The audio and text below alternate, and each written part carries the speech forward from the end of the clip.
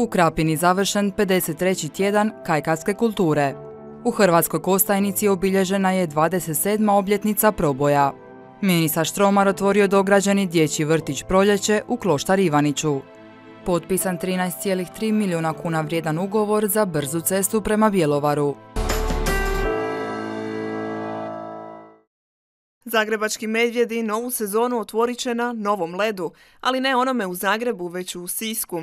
Grad Sisak ima dugu tradiciju hokeja na ledu, a nova ledana dvorana pravi je primjer tome. Divim da se tako jedna dvorana napravila izvan Zagreba, dvorana mic po mic, svaki dan radimo na tome da je usavršimo, to su one facelifting mali detalji, ali je dvorana fenomenalna. Gradonačelnica je podsjetila da je grad ledenu dvoranu napravio u rekordnom roku od 10 mjeseci. Jer je bilo suludo nakon toliko desetljeća ignorirati fenomen hokeja u Sisku. Znate svi da se uh, Sisak i Sišćani i hokej vole javno još od 1930. Klub funkcionira od 1934 i sa takvom tradicijom e, i sa tim brojem djece i odraslih koji su zainteresirani ne samo za gledanje nego i za bavljanje sportom na ledu, naravno da nam je bilo zadovoljstvo napraviti ledenu dvoranu. Budući da je brlog zagrebačkih medvjeda trenutno u rekonstrukciji, Sisačka ledena dvorana pun je pogodak. Mi smo imali svoj jedan problem da u Zagrebu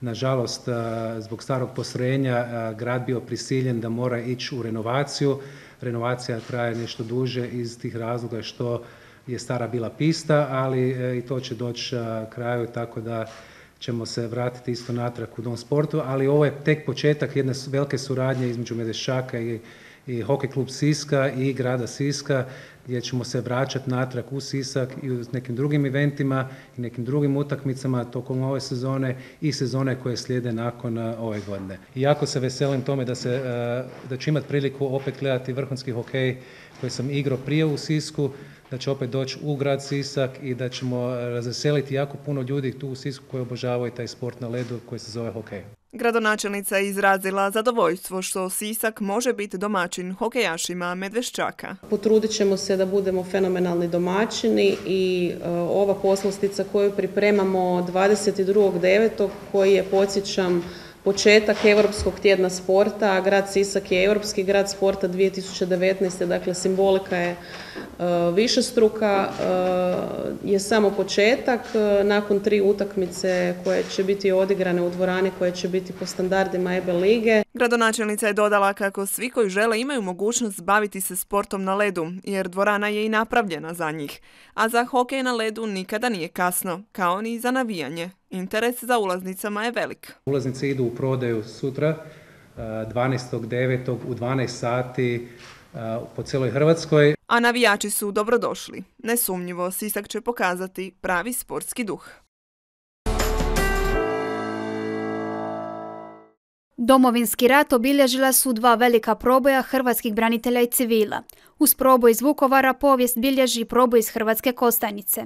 Župan Sisačko-Moslavačke županije se prisjetio tokobnog dana. Hrvatska Kostajnica je bila potpuno opkoljena i tristotinjak branitelja koliko je još branilo Hrvatsku Kostanicu nije imalo ni pravu informaciju, nisu mogli zbrinuti ni ranjene i tu se pokušavalo raznim rješenjima e, pronaći izlaz. Istaknuo je koliko su hrvatski branitelji bili hrabri, tim čestitao na tome. Želim e, čestitati onim braniteljima koji su imali hrabrosti, odlučili se u proboj.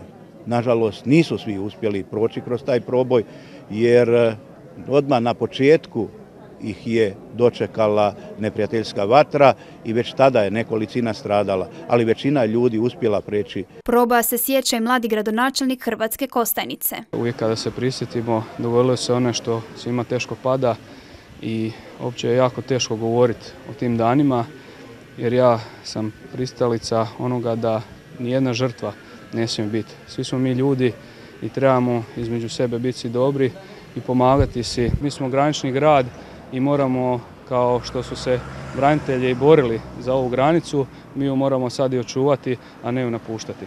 Za Hrvatsku Kostajnicu i njen proboj šira javnost malo zna. Rijetki tek znaju da su 12. rujna 1991. godine, oko dva mjeseca prije pada Vukovara, mnogi branitelji civili Hrvatske Kostajnice bili zarobljeni i poslani u logore. Mnogi su ranjeni, neki pobijeni, a oni preživjeli napustili su svoj grad u tužnoj koloni pod mučnim okolnostima.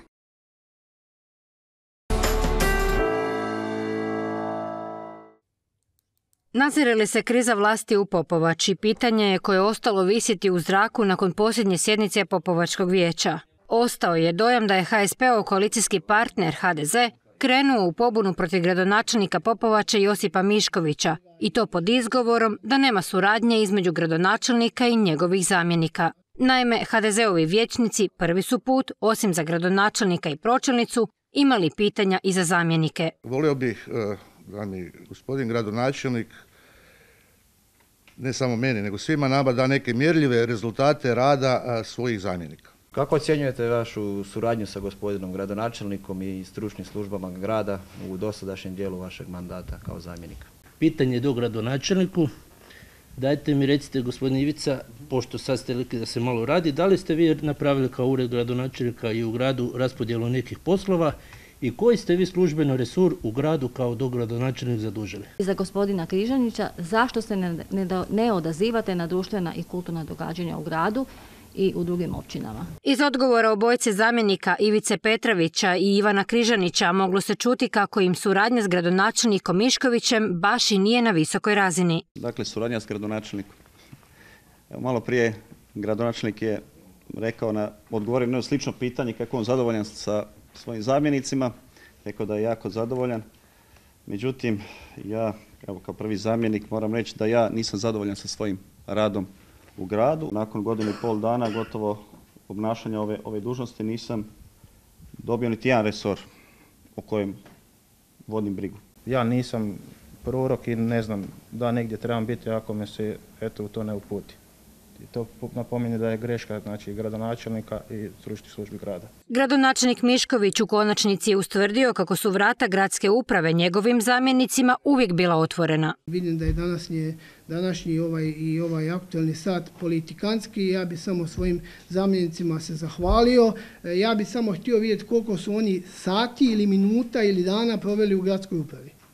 Vrata gradske uprave nikad nisu bila zatvorena, nikad za nijednoga. Gradonačelnik je odgovorio i na prigovor županijskog vijećnika Željka Pačareka vezano uz govor na otvorenju nove škole u Popovači. Podsjetimo, Mišković je tada zahvalio i onima iz bivše županijske i državne vlasti koji su na početku odobrili te podržali taj projekt. Znači u ovom času mi ne bi trebali spominjati 8 e, ili 12 godina rada Sisačko-Moslavačke županije kada je njoj upravljao neko drugi. Mišković je ponovno javno izrazio nezadovoljstvo što na otvorenje škole nije došao nitko iz nadležnog ministarstva. Iz ministarstva niko nije došao tamo na investiciju tešku gotovo 100 milijuna kuna ako, ako stavimo sve ostalo. Da su odnosi u koaliciji u Popovači zategnuti moglo se vidjeti i po neprihvaćanju izvješća o radu gradonačelnika za prvo polugodište ove godine koje nije podržao ni jedan vječnik HDZ-a.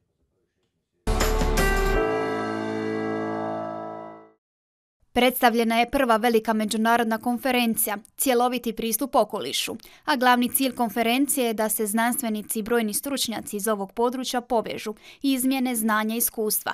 Pripremljen je bogat program za sve sudionike konferencije. Biće program vrlo šarolik, teme su nam vrlo šarolike, kao što sam rekla, dakle područje zaštite okoliša, inženjerstva okoliša, integrativne bioetike, znači dodirnut ćemo se stvarno kompletne problematike što je, koja je vezana uz, uz ovo područje. Isto tako nam je želja bila da e, ovakav događaj konačno bude u našoj Sisačko-Moslavačkoj županiji s obzirom da evo ovakvu tematiku do sada nismo u ovoj županiji e, na, e, obrađivali na, na ovaj način. Župan Sisačko-Moslavačke županije istaknuo je važnost konferencije, te dodao koliko sredstava županja ulaže u okoliš. Prvi puta ovakva jedna značajna konferencija pod nazivom zanimljivim cjeloviti pristup okolišu govori da i naša županija itekako vodi brigu o zaštiti okoliša, o našoj prirodi. Županija svake godine ulaže e, značajna sredstva u zaštitu okoliša i prirode.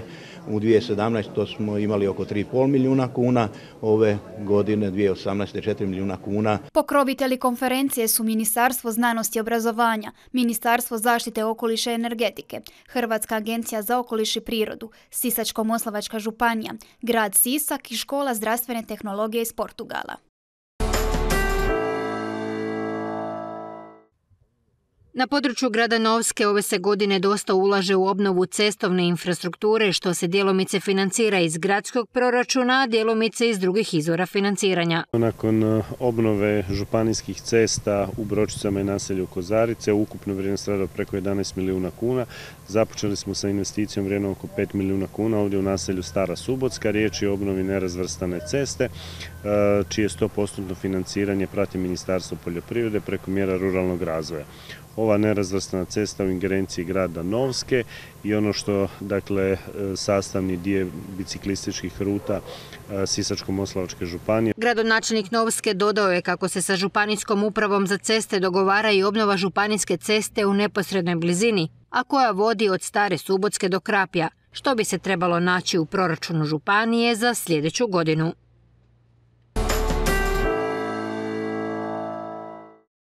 Kako bi osigurala opstojnost prometne povezanosti obala unutarnjih vodnih putova na svome području, kao i podizanje razine sigurnosti riječnog prometa, Sisačko-Moslavačka županija je ove godine provela javni poziv za dodjelu financijske pomoći za ovu namjenu. Primljeni su zahtjevi općine Martinska Ves za skelske prijelaze Desni Dubrovčak, Lijevi Dubrovčak i Tišina Kaptolska, Tišina Erdecka, te općine Sunja za prijelaze selište Sunjsko Kratečko i gradu sa Posavska Lukavec doista mi je drago da možemo sufinancirati e, ova skelska mjesta prijevoza zajedno sa Sunjom, zajedno sa Martinskom Vesi. Da nema tog sufinanciranja, pitanje da li bi i ovakva, ova skela ovakva bila, da li bi ovi e, skelski prijelazi funkcionirali.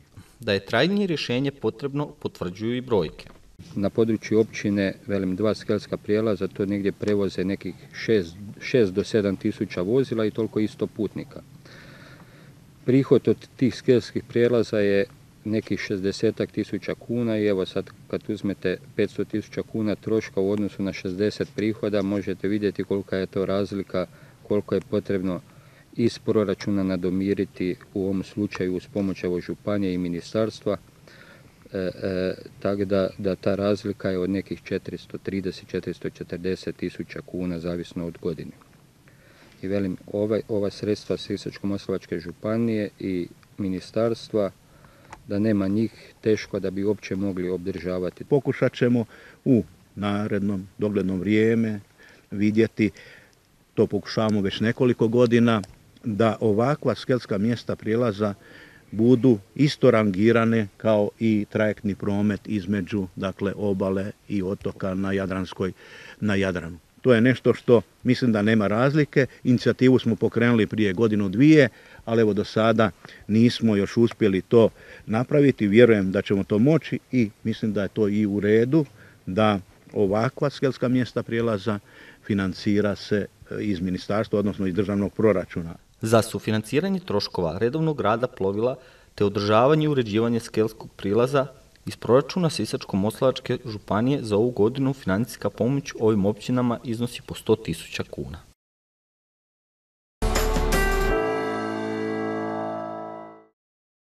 Domaće, kupi novo vino, aronija, pčelinji proizvodi, sve se to moglo naći i isprobati i kupiti na izložbenom prostoru grada Bjelovara u sklopu netom završenog jesenskog sajma. Kupaca nije nedostajalo, a pažnju je posebno privlačila perga, jedan od najskupljih i najkvalitetnijih pčelinjih proizvoda. Kao što mi svoju djecu hranimo sa izuzetno dobrim stvarima da brzo napreduju, da su zdravi, tako i pčele svoju djecu, odnosno svoje legle isto hrane. One skupljaju pelud sa cvjetova, odlažu ju u čelije sača, na tu pelu dodaju med, dodaju nešto propolisa, dodaju svoje neke enzime, izlučevine, fermente i onda ta pelud u čeliji sača sazrijeva nekih 15 dana i predstavlja visoko vrijednu hranu kojom one svoje leglo hrane. Potražnje nije nedostajalo ni za kupinovim vinom, koje se najčešće koristi u liječenju anemije i iscrpljenosti. Malo više treba ručnog rada. Da. I ta ekološka sredstva i to sve. Mi na pola hektara imamo.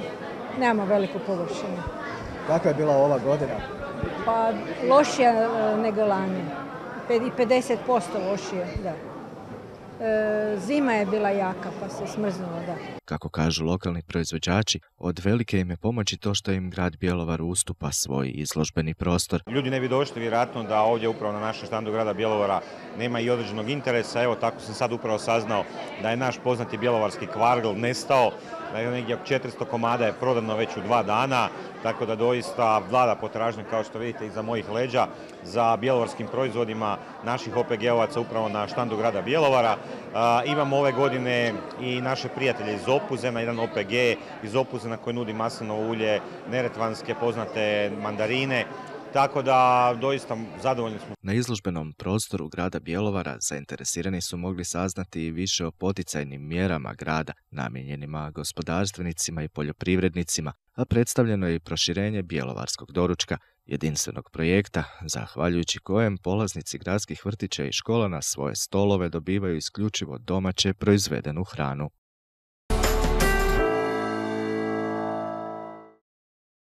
OPG Marija Puškarića iz Kaniške Ive proglašene najboljim u Hrvatskoj, a kako i ne bi, kada je taj OPG primjer uspješnog bavljanja poljoprivredom.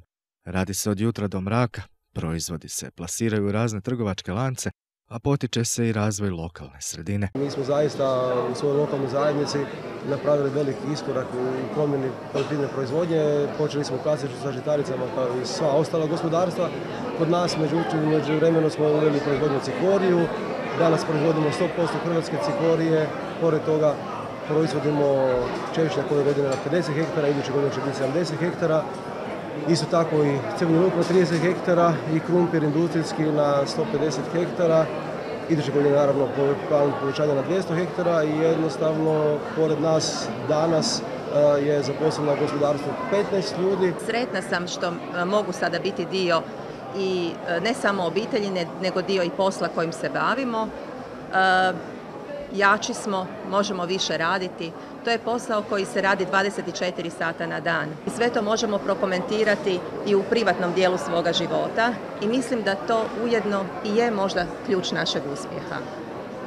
E, uključujemo djecu u svoje poslove, u svoja razmišljanja, pokušavamo od njih isto stvoriti odgovorne ljude i to je nešto čime se izuzetno ponosimo. Čestitke na osvojenoj nagradi za najbolji OPG pristižu puškarićima sa svih strana, pa tako i Bjelovarsko-Bilogorske županije, u kojoj je upriličen svečani prijem. Moram reći da je to nešto što je došlo, ja bih rekao, u prave ruke. Gospodin Puškarić preko 20 godina razvija svoj OPG i ovog trenutka je jedan od proizvođača koji sigurno gleda i u budućnost. Naime, 350 hektara površina koji se obrađuje, povrtlarske kulture i dio žitarica i nove investicije u tijeku koje su vrijedne preko 16 milijuna kuna sigurno su zapravo dokaz da poljoprivreda je jednako važna i danas i sutra i da ima prostor za one koje žele raditi. Bjelovarsko-bilogorska županija primjer je poticanja poljoprivrede. Tako se iz proračuna primjerice sufinanciraju razvojni projekti u poljoprivredi i potiču premije osiguranja. Županija je ove godine nastavila i provedbu dosadašnjih dobro prihvaćenih mjera poput kreditiranja poljoprivrede, subvencije stočarske proizvodnje i očuvanja tradicijskih vrijednosti.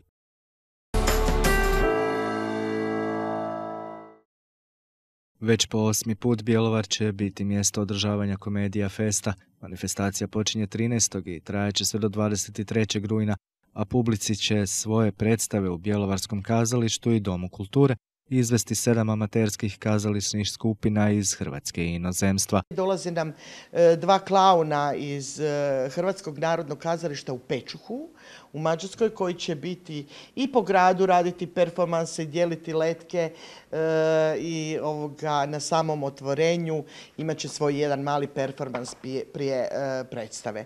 Moram isto tako reći da u oba dvije nedelje će biti i predstave za djecu. Održavanje Komedija Festa već tradicionalno tradicionalno pomaže i grad Bjelovar. Slobodno možemo reći da je već riječ o tradiciji i prepoznatljivosti našega grada. Riječ je o predstavljanju amaterskih kazališta koji izvode svoje predstave promovirajući svoj grad, a za njega mogu biti na kraju i nagrađeni.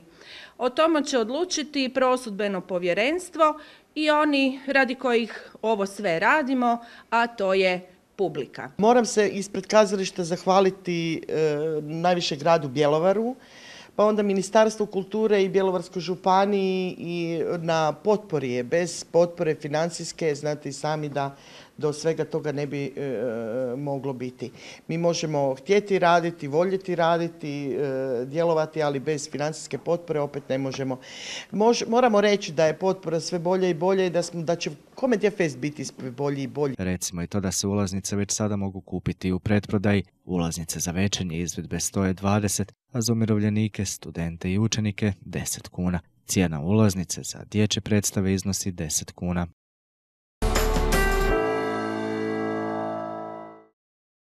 Nakon Petra Gorše, Bjelovar ima novog streljačkog prvaka. Riječ je o Miranu Maričiću, članu streljačkog društva Bjelovar 1874. koji je početkom ovog mjeseca u korejskom Changwonu u konkurenciji od 112 seniora u gađanju zračnom puškom osvojio treće mjesto na vrhunskom rezultatu koji mu je omogućio nastup na olimpijskim igrama 2020. godine u Tokiju, čestitali su i čelnici grada Bjelovara. Kao gradonačelnik grada Bjelovara mogu samo čestitati. Miran isto tako ulazi u našu kategoriju i nagrada. Potpomognut ćemo ovaj sjajni rezultat sa određenim iznosom od 1000 kuna nije puno, ali to je naš nekakav stav da sve državne prvake, juniorske prvake, svijeta, Europe, e, seniorske prvake, da evo, na neki način malo potičemo i potpomažemo i ovo je evo, jedan sjajan rezultat. Mogu reći da sam fenomen u, u svjetskom streljaštvu jer nakon juniorskog zlata e, stvarno rijetko ko se može pohvaliti i medaljom odmah sljedeće godine u seniorima. dakle vidimo da, da imam tu kvalitetu, imam ono nešto što mi brojni ljudi kaže, kažu imam ono nešto što se ne može opisati riječima, jer stvarno svi su iznenađeni. Mogu reći da sam tamo i senzacija bio na streljani u Changwonu u Južnoj Koreji. Miran je ozbiljan e, i predan sportaš, bez obzira što je trenutno na fakultetu u Varaždinu, e, svakodnevno se ovoga posvećuje svojim treninzima i uz školske i nastavne obaveze uspjeva na vrhunskom nivou odraditi.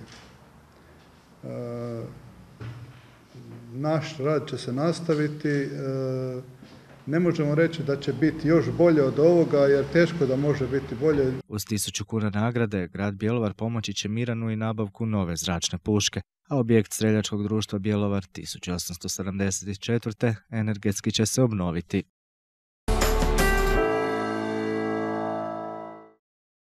Brza cesta prema Bjelovaru 15 km bliža nego što je bila prije godinu dana. Naime, potpisan je 13,3 milijuna kuna vrijedan ugovor o izvođenju radova na modernizaciji državne ceste od Gudovca do Farkaševca, koja će već za 3 do 5 mjeseci omogućiti otvaranje već izgrađene dionice brze ceste od Vrbovca do Farkaševca. Radi se o obnovi državne ceste. To je sasvim nešto drugo nego gradnja dakle, novog prometnice koja je već dugo vremena u provedbi gdje je riješen imovinsko-pravni odnos i gdje su napravljeni objekti vrijedni po 50 ili 60 milijuna kuna. Ja ću se prisjetiti da je ministar prometa, gospodin Oleg Butković, prošle godine najavio da će do kraja 2018. biti raspisan natječaj za građenje od Vrkaševca do Bjelovara. Bojim se da to obećanje neće biti izvršeno, ali ostavimo ministru još nešto vremena. Ja više volim da, rekao bih da puštamo pojedine dionice brze ceste do Bjelovara u pogon i mislim da je to jako bitno jer je ipak bitnije od same priče kako treba brza cesta doći, to svi znamo da treba doći, da se konkretno neke stvari rade i da se rade u miru i tišini. Mi smo imali svoju priliku kad smo imali jako puno ministara u vladi, nismo po tom pitanju ništa napravili i lako je sad poslije toga imati naknadnu pamet ali što se mene tiče osobno, ja ću i dalje kao gradonačelnik grada Bjelovara radit ću sve na tome da što bolje poboljšamo infrastrukturu i da što, prije ta cesta dođe ipak do Bjelovara. Razgovaralo se i o nastavku izgradnje istočne bjelovarske obilaznice koja bi trebala biti izgrađena do ljeta iduće godine. No, bit će puna raskrižja s cestama, poput onih u Lugu i Trojstvenoj ulici, Stoga se mnogi pitaju je li to dovoljno sigurno rješenje. Projekt je odobren na svim razinama, doslovce cijela projektna dokumentacija sa zemljištem, sa projektom, e, sa izvlaštenjima ima sve valjane suglasnosti. Naravno da ćemo vidjeti i razmotriti samu dionicu kad ju pustimo u promet i u kratkom vremenu ako se ukaže potrebno odmah to realizirati na drugi način. Na upit novinara kako je policijska uprava apelirala na stavljanje kružnih tokova na raskrižja, zamjenik ministra prometa Gospočić je odgovorio kako je ministarstvo upoznato s tim problemom, ali nažalost u tom trenutku ministarstvo unutarnjih poslova nije bilo uključeno u sami projekt.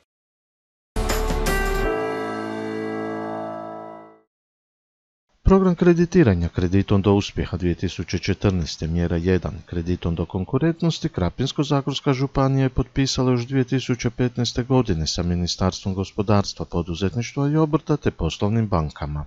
Na tom natječaju osigurali smo 68 milijuna kuna za subvencioniranje kamata našim poduzetnicima, obrtima i također profitnim ustanovama.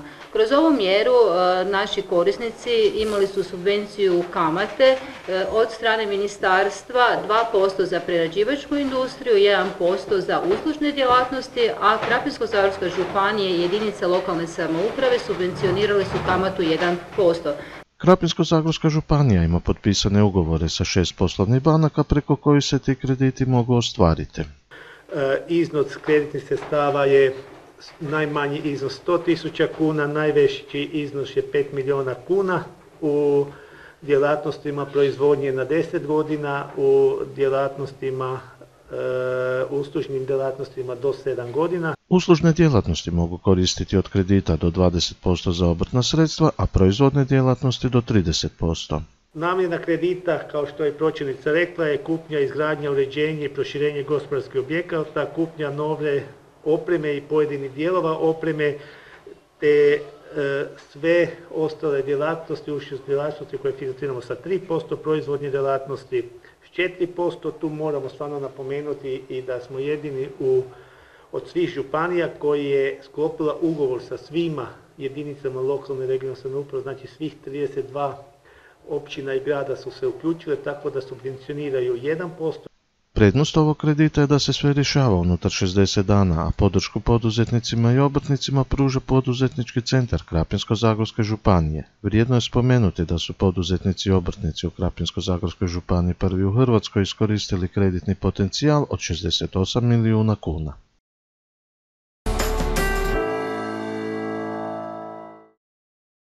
Podjela majstorskih diploma za majstore iz Krapinsko-Zagorske županije održana u sklopu Zagorskog gospodarskog zbora kao što je to već uobičajena praksa. Biće tu novih majstora koji su završili u raznim strukama od frizera, od metala, metalaca, to je stokara i od svih vezanih onih obrta koji moraju završiti i napraviti majstorski ispit da bi okrunuli na, na neki način e, plafon svojega obrazovanja i da bi jednostavno postali zbilja majstori.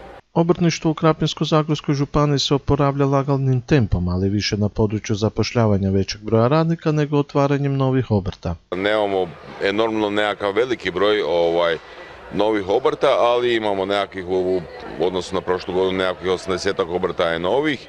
E, zapošljavamo daleko više e, ljudi nego što smo zapošljavali prije ovaj prije par godina, sad je to brojka negdje skoro do 7000 zaposlenih u obrtništvu Krapinsko-Zagorske županije i mislim da trendovi su dobri, da trendovi napreduju i nadam se da ćemo jednostavno iz dana u dan e, rasti i da će se to vratiti na nekakve stare slave kad smo imali prekti 3,5 tisuće obrta. Jedno od zanimanja koja najviše nedostaju su majstori zidari zbog više razloga. Ja sam naslijedio obrt i prvo trebalo mi je zbog tog diploma majstorska da nastavimo dalje raditi. Evo radimo, imam 15 ljudi, naravno fali, e, posla ima, ali fali ljudi. Jednostavno je, posao je podcijenjen, preslabo plaćen, e, težak je fizički rat i jednostavno ljudi se traže neka bolja rješenja. Majstori zidari mogu zaraditi oko 8000 kuna mjesečno, ali ipak ih nedostaje. Problem je i u tome što obrtnici jednostavno nemaju od kuda isplatiti više plaće, jer iako su cijene zidarskih radova pristojne, ostane im malo od svega jer državni nameti uzmu veliki dio kolača.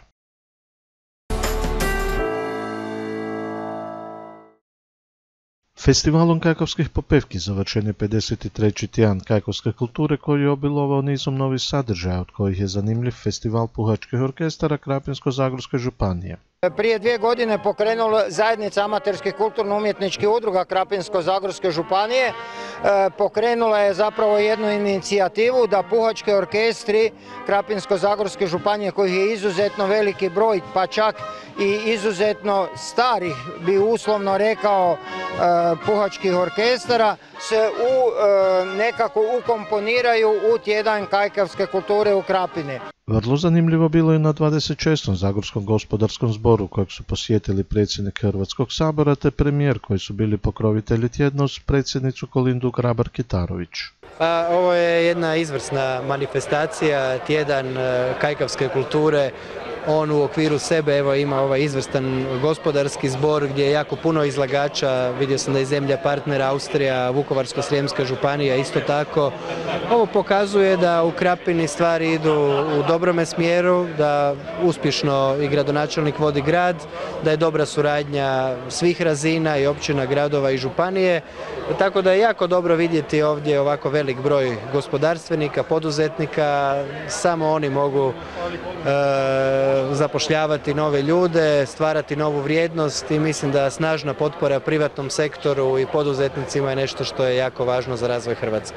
Ova manifestacija je izrazito kvalitetna i pokazuje snagu Krapinsko-Zagorske županije koja puno daje na području gospodarstva, ali i kulture. Moje čestitke organizatorima i gospodarskoj komori, obrtničkoj komori, županiji i gradu, mislim da su svi dali svoj doprinos. Gledao sam podatke, skoro 12 milijardi kuna prije oporezivanja, prihodi zagorskog gospodarstva, to dijelo je sigurno poticajno i ova je županija i ljudi ovdje oduvijek poznata po hrabrosti, odvažnosti, znanju, umjeću, kreiranju ideje i provođenju u djelo i zato vjerujem da i svi ovi izlagači koji su ovdje i posjetitelji osjećaju upravo taj impuls koji je bitan za ukupan rast hrvatskog gospodarstva. Završetkom 53. tjedna kakavske kulture počinju pripreme za iduću manifestaciju za koju se planiraju novi sadržaj, jer krapinčani vole reći da se u Krapini vrijeme ne računa od nove do stare godine, već od festivala do festivala.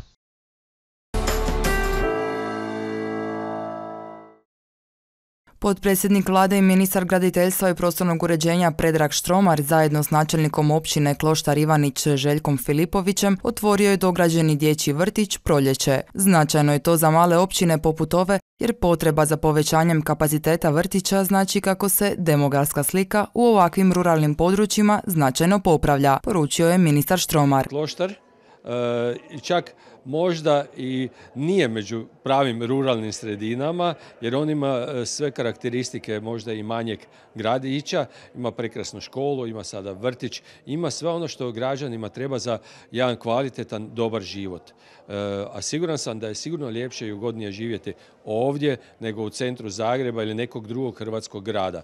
E, tako da vidim, vidim da Kloštar ima svoju budućnost, da odavde neće ljudi više iseljavati, a možda i neki dolaziti ovdje živjeti jer ovdje je lijepo. Dječji vrtić Proljeće, čija je izgradnja trajala dvije i pol godine, prvi je objekt izgrađen na području općine u proteklih 25 godina. Izgradili vrtić, svi sretni u Kloštar Ivaniću i svega će biti, e, ako ne će biti djece, neće ničega biti. Znači najbolje uložiti u, od početka u mlade, u vrtić, pa e, u osnovnu školu. Sljedeće, nadamo se, e, jednosmjensko e, nastava u Kloštar Ivaniću u idući četiri godine da ćemo i to probati e, zajedno sa županijom i sa državom i na taj način riješiti pitanja ono osnovno za mlade osobe da imaju sa svojom djecom i da tu žive ostanu ili da se novi dosele. Izgradnja ovakvih objekata zapravo omoguća, omogućava e, roditeljima koji svakodnevno putuju u pravilu na posao u Zagreb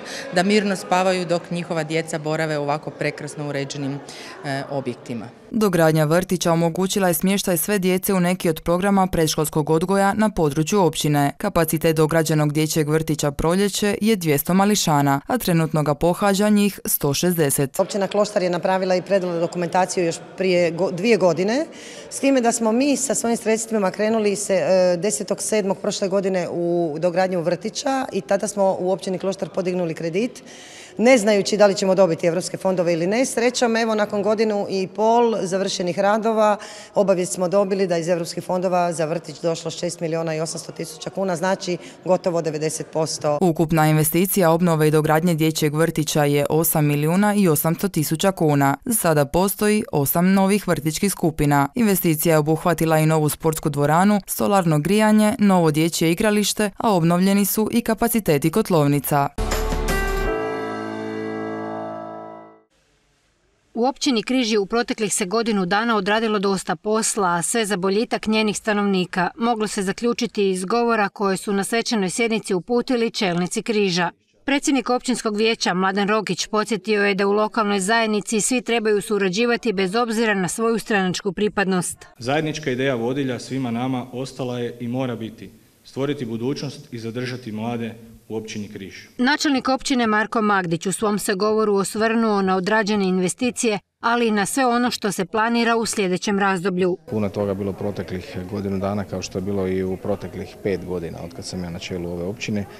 Puno je projekata komunalne infrastrukture, ali i onog drugog što se izdvaja iz proračuna općine u segmentu i socijale, i kulture, i sporta, i vatrogastva i svega drugoga. Ono što je primarno to je da završimo taj projekat dječjeg vrtića koji moguće da zbog vremenskih prilika će se e, prolongirati za iduću godinu, jasno to ne ovisi o meni, ali ono što nam je ključno to je da prođemo na toj mjeri e, ruralnog razvoja, radi se o mjeri 741 bespovratnim sredstvima, 6 milijuna kuna skoro je u pitanju, tako da ako to prođemo to nam otvara i neke nove vidike.